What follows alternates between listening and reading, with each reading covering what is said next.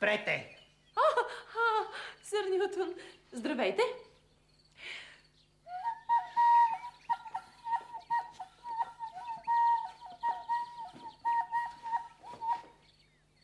Какво свирите? Свири една мелодия. Мелодия за укротяване на змии.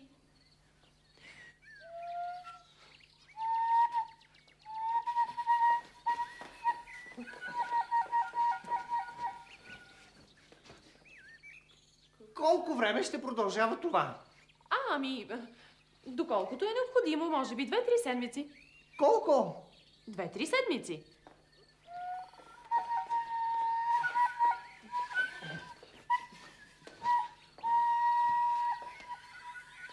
Спрете! Защо? Как защо? Мога да ви кажа по-лесен начин за укротяване на змии. Така ли? Ами кажете ми, и без това от това свирене ме заболя главата. Добре. Ще ви покажа как можете да научите една змия да танцува с помощта на магнитните сили. Наистина ли? Да, Звучи интересно. магнитите имат таинствена сила. Те могат да привличат към себе си или да отблъскват други магнити.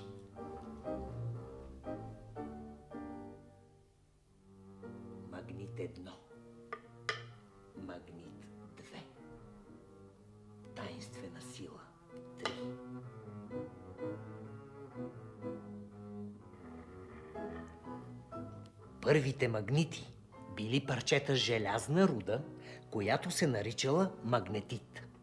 Магнитите обикновенно са направени от желязо или от сплави, в които има желязо. А как магнитите успяват да отблъскват и да привличат железни предмети?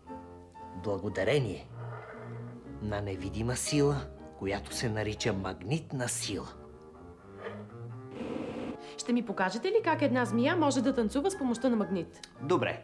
За целта ще ни трябват различни цветове ватирани салфетки, лепило, линийка, конец, фломастри, ножица, кламери и различни видове магнити.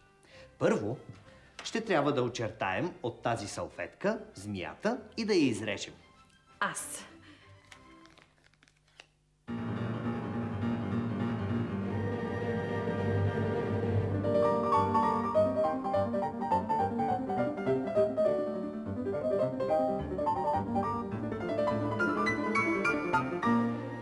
След това трябва да я украсим.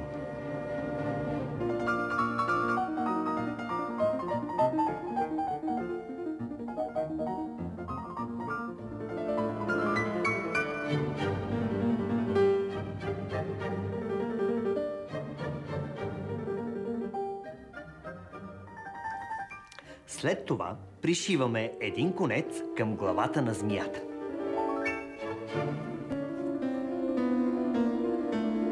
Ще затисна другия край на конеца с камък. А сега, за главата на змията ще закрепя един кламер. Ето, вече сме готови да накараме змията да танцува.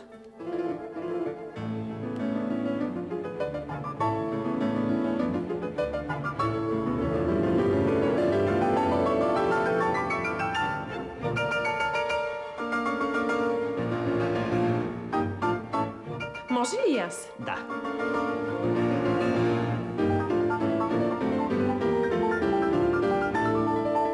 По същият начин можем да издигнем във въздуха едно хвърчило.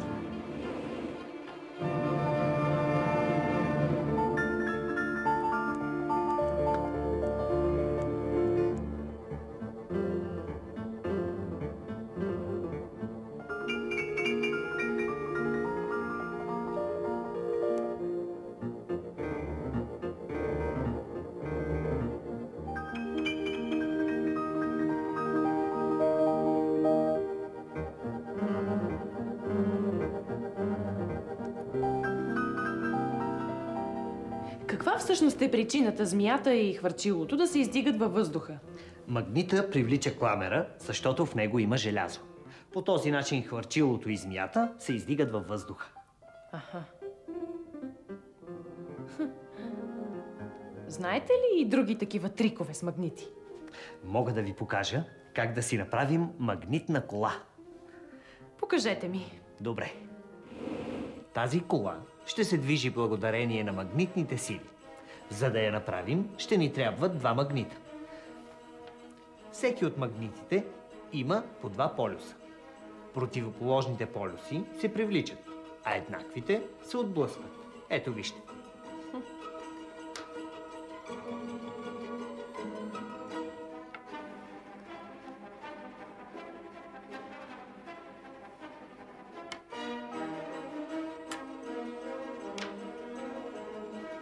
Наистина. Когато доближат двата магнита, те се привличат или отблъскват. Зависи как са обърнати. Освен магнити, за колата ще ни трябват лепенка, ножица, кибритена котия, сламка, четири тапи, две дървени пръчици и пластилин. Първо, трябва да поставим един от магнитите вътре в кибритената котийка и да го залепим здраво.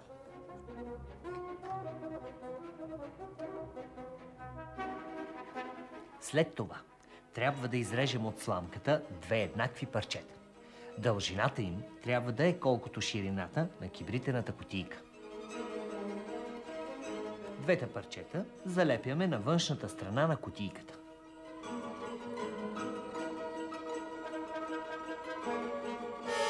Напълнете капачките с пластилин. Тях ще използваме за колела. А сега да сглобим количката. Магнитната кола е готова. Ще я изпробваме ли вече? Разбира се. Дайте ми магнита.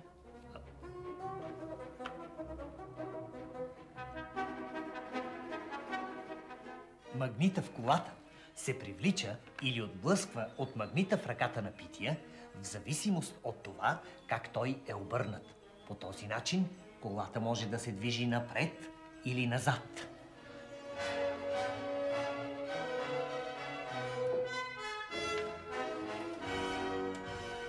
Как се движи колата? Колата се движи благодарение на магнитните сили. Виж. Може ли магнита? Не да. Пробвай да привлечеш тези дребни предмети с магнита.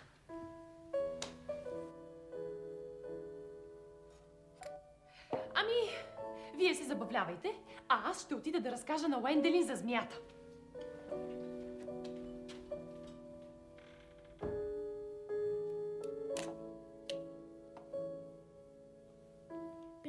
Се ножицата, кламера, катинара, ключа и гайката. Ластичетата, клечките, корковата тапа и шишенцето не се привличат. Магнитите привличат само предмети, в които има желязо. Как ги привличат? Всеки магнит създава магнитно поле. Не го виждам. То е невидимо. Но въпреки това, има начин да се види. Искам да го видя. Добре, ще ти покажа как може да стане това. Ще ни трябват пластмасова ваничка, захарен сироп, железен прах и няколко магнита. Първо, искам да сипеш захарен сироп във ваничката. Сега ще сипя малко железен прах. Разбъркай хубаво. А сега да поставим под ваничката един магнит. Железните частици се подреждат по някакъв странен начин. Те се подреждат, защото попадат в магнитното поле на магнита. Железните частици рисуват магнитното поле. Сега да поставим друг вид магнит под ваничката. Магнитните полета на двата магнита са различни. Железните частици се подреждат по линии, които се наричат силови линии на магнитното поле. Те тръгват от единия полюс на магнита и отиват към другия. Нека да поставим два плоски магнита под ваничката.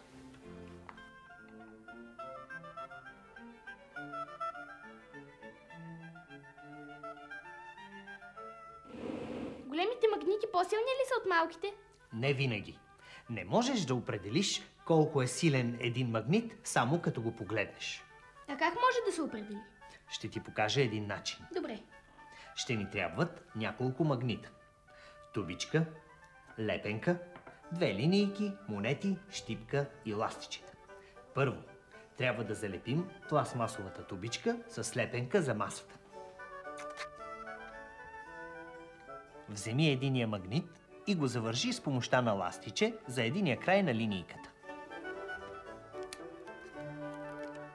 А през това време аз ще закрепя за другия и край няколко монети, така че линийката да се уравновеси. Ето, линийката е в равновесие. Сега вземи този магнит и го дръж над другия. Линийката се наклони. Така, приближавай го бавно, така че линийката да се наклони и да докосне масата. Измери на каква височина държиш магнита от масата.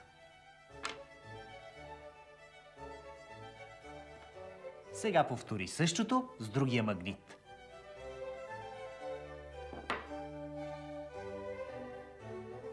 Този път височината е по-голяма. Така е, защото магнита е по-силен. Колкото по-голяма е височината, толкова по-силен е магнита. Това е един специален уред за измерване силата на магнитите. Този ластик държи линийката, а на нея са закрепени няколко магнита. Да видим колко ще се отклони линийката, когато подействам на магнитите с този магнит.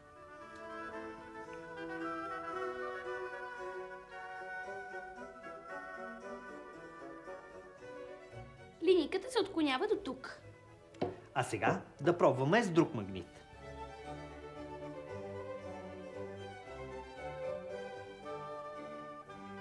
Този път линийката се отклонява по-малко. Защото този магнит е по-слаб. Аха, отивам да разкажа това на Яво.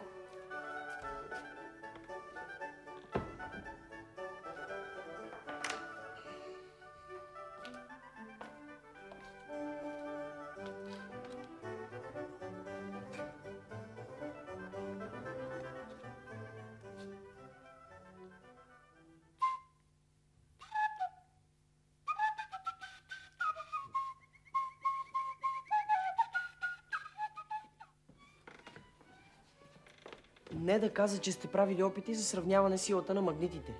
Добър ден. Добър ден. Да, Искам и аз да видя. добре.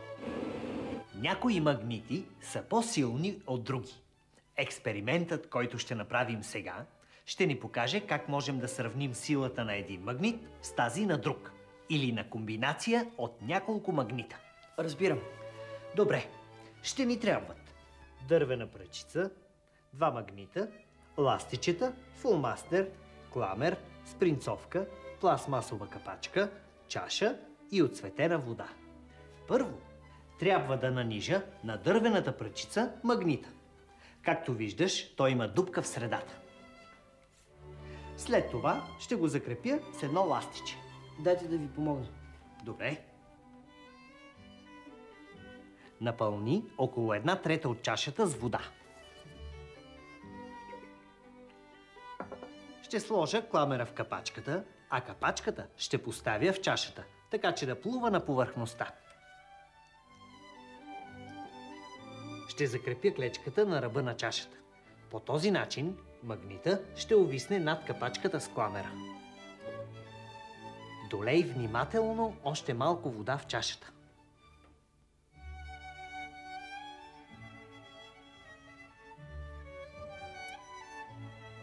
Кламърът скочи. Защото в него има желязо и магнитът го привлича.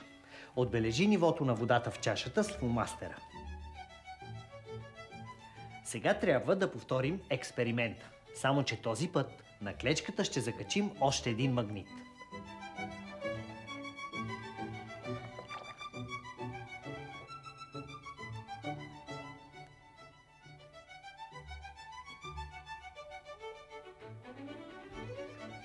Нивото на водата е по-низко.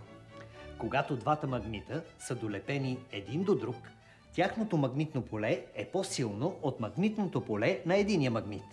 Затова те успяват да привлекат кламера от по-голямо разстояние. Тоест, нужно е да се долее по-малко вода, за да може кламера да се залепи за магнитите. Добре. Аз ще тръгвам. Довиждане! Довиждане.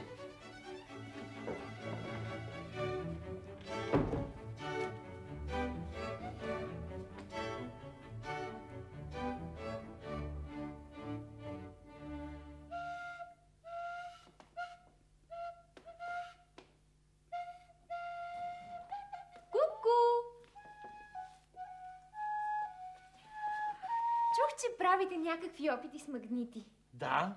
А дали ще ви притеснявам, ако остана да погледам малко? Не, не, може даже да направим заедно следващият опит. Ще ви покажа как можете да разделите два вида прах, смесени един в друг.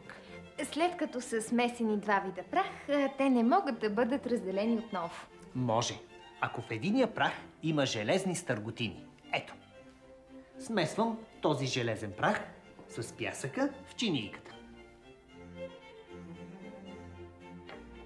Разбъркайте сместа. Готов. А сега я изсипете върху листа. Поставете магнита под листа.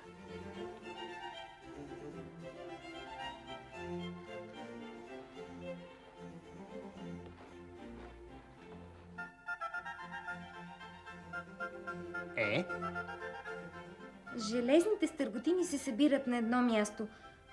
Пясъка се отделя от металния прах. ето, по този начин можете да разделите два вида прах. Удивително. Да. А знаете ли всъщност, че земното кълбо е един огромен магнит със собствено магнитно поле?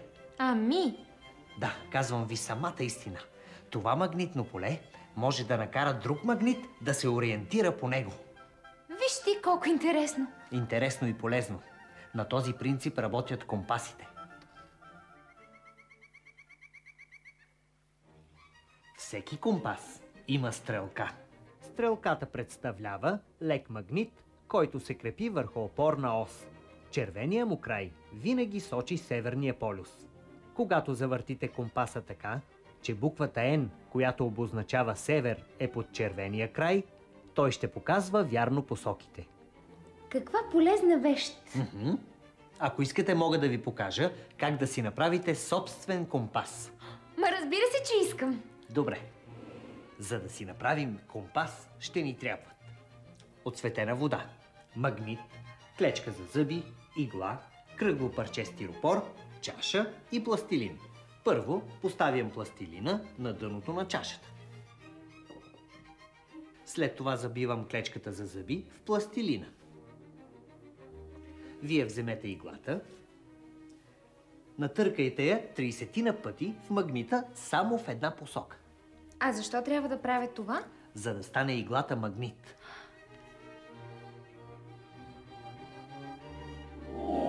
Във всяко парче желязо има малки магнитчета, които се наричат магнитни домени. Всеки от тях има два полюса – северен и южен. Ако те са разбъркани, парчето желязо не е намагнитено. Ако се подредят, то се превръща в магнит. Сега трябва да залепим иглата върху диска и да го поставим върху клечката. Наливам вода в чашата, така че нивото й да достигне диска.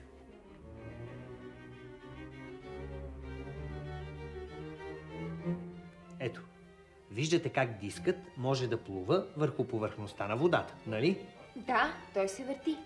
Дискът се завърта така, че единия край на иглата сочи север. Трябва да сверим кой е този край на компаса и да го отбележим.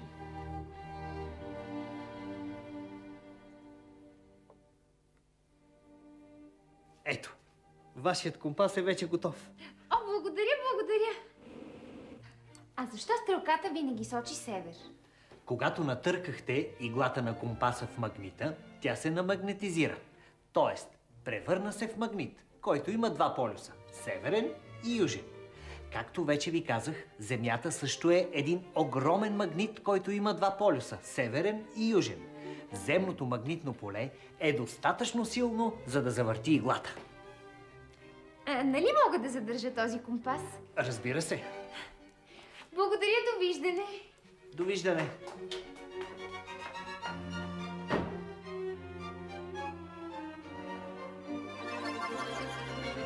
А, госпожице Титания, здравейте. Здравейте, сър Нютон. Имате ли работа? Ами, не. Хайде да отидем за риба. О, навън е много студено. Прав сте. Само, че се чуди какво да правя в този скучен следобед. Ако искате, можем да ловим риба тук, в стаята. Тук в стаята. Да. Ще ви покажа как. Играта, която ще ви покажа, се нарича магнитен риболов. Първо трябва да се подготвим. Ще ни трябват две дълги пръчки, водоустойчив маркер, кламери, два магнита, въженца, много листа от пластмасови папки и ножица. Първо, трябва да очертаем и изрежем от листата риби. Може ли аз? Може.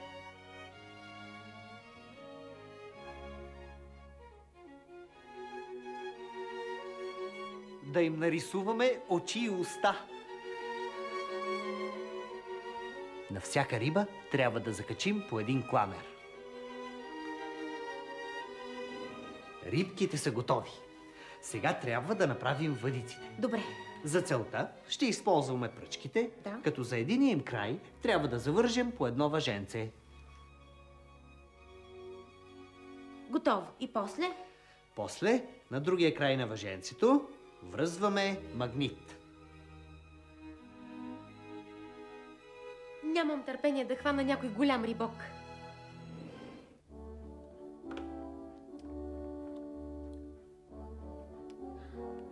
Хванах. При мен не кълве. Изплъзнала се. Тази ще да е голяма.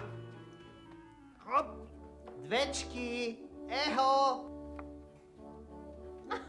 Хванахме я заедно. За- Аз мисля, че бях пръв. Да. Ето я! Да, виждам. Оп! Аз пък хванах две наведнъж. Все от жълтите хващам. Те не се броят. Е, как? Ха-ха! Две! Две! И аз хванах две. По-големи. но по-грозни. Е, това е за сом. Мисля, че и штука хванах. А жълтите рибки? Как им казвате? Ама аз мисля, че не е и риба това. И как? Ами вижте каква е пожълтяла. Три? Една, но голяма. Много сме добри. Да. А сега какво ще правим? Ами, можем да си направим състезание с коли. Хайде! Добре. Ще проведем състезанието върху тази писта. Можете да си направите собствена писта с форма и размери по ваше желание. А сега да покажем как се прави състезателна кола. Да. Ще очертаем и изрежем колата от този картон.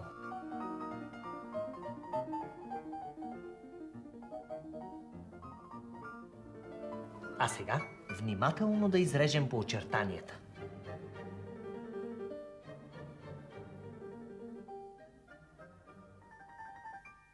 Да е зле да украсим колите.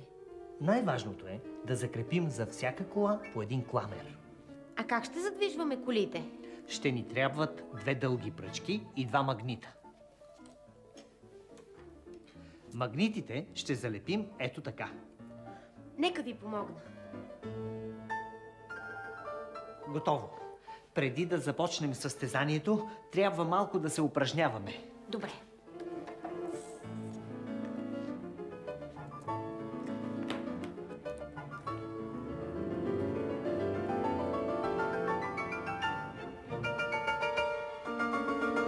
Номерът е колата да остане на пистата и естествено да измине разстоянието от старта до финала за възможно най-кратко време.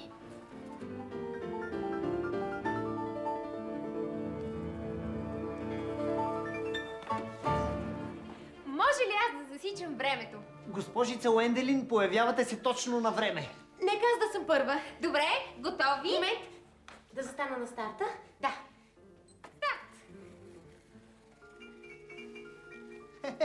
С това темпо сте за никъде.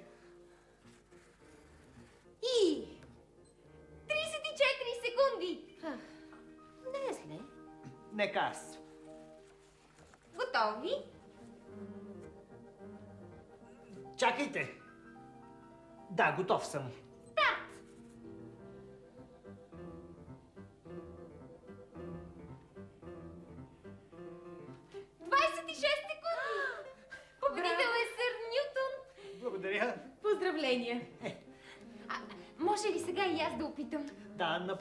Една игра с госпожица Титания. Вие Да. засичайте времето.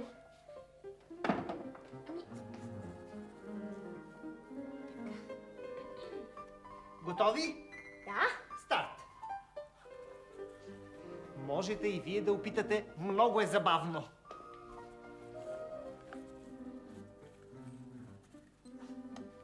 Тринайсет секунди.